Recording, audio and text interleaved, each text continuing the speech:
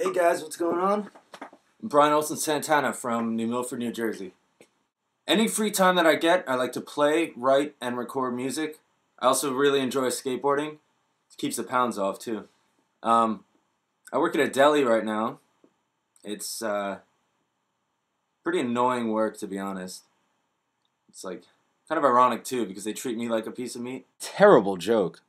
But anyway, moving on. Rebecca. I remember meeting her early middle school days, uh, long, long, long time ago. Well, not that long ago. I'm still a kid.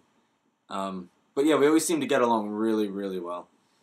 She's the kind of person with like a legitimate good heart. Like she could listen to you for hours if you had a problem.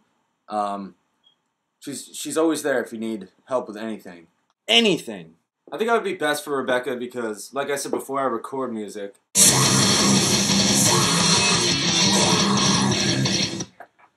Yeah, that was good. Just a little less ah, and a little more ugh.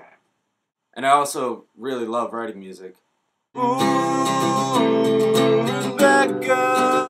She's not going to be hearing that. To sum it all up, I know Rebecca and I complement each other very nicely.